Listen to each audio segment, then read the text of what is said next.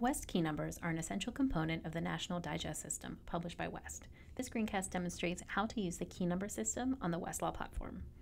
There are multiple points of entry to the key number system online. First, you can search or browse the key numbers directly. This is the most efficient if you have a key number at hand or if you have a key number topic but need to drill down to some more specific materials.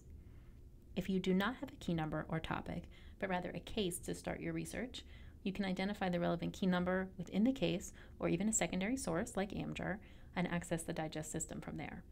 I will demonstrate both of these methods in this video. Let's start with accessing the key number system directly. From the Westlaw homepage, we find the key number system on the homepage under the All Content menu.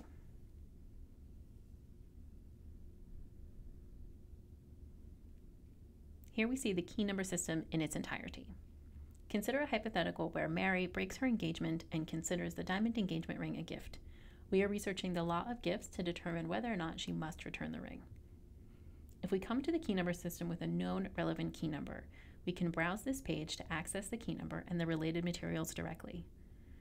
I know, for example, that the law of gifts is under topic 191 for gifts in the key number system, and I want to find specifically key number 34 for qualified or conditional gifts. So I'll scroll to topic 191, gifts.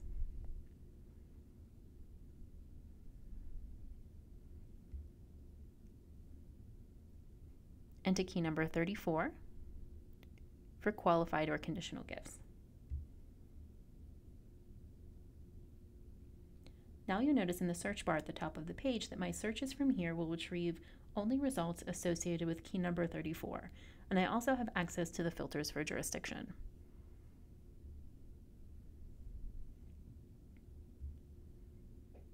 This allows me to search all the cases associated with key number 34 on the topic of qualified or conditional gifts. I'd like to search within these results with a simple terms and connector search for engagement in the same sentence as ring.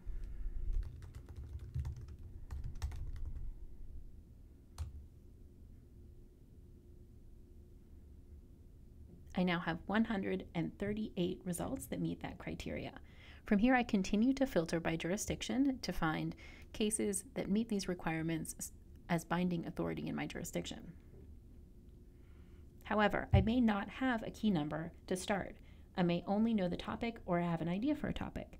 So if I back up to the key number system,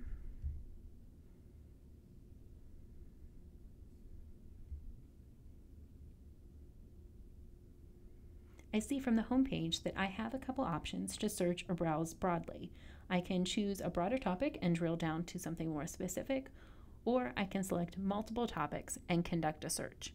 So, for example, I can choose to search topic 191 for gifts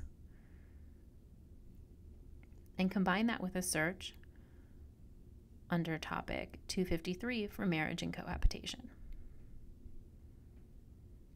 Now my search in the global search bar at the top limits my search to just these two key numbers.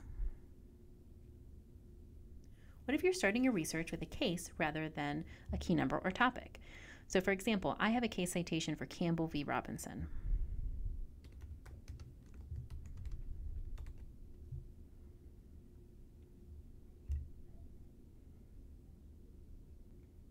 Following the caption and the West synopsis, I find the West headnotes and associated key numbers.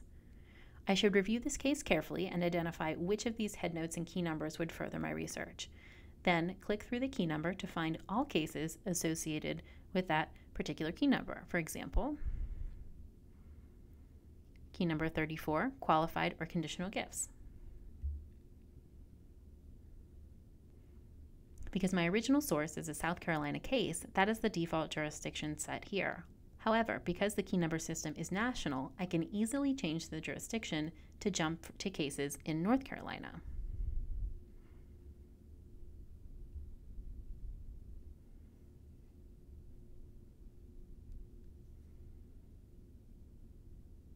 This comes in handy when a relevant case from a different jurisdiction comes across your desk. It can still be a perfect starting point if you use the digest system efficiently. These are the basics for accessing and searching West's key number system on Westlaw.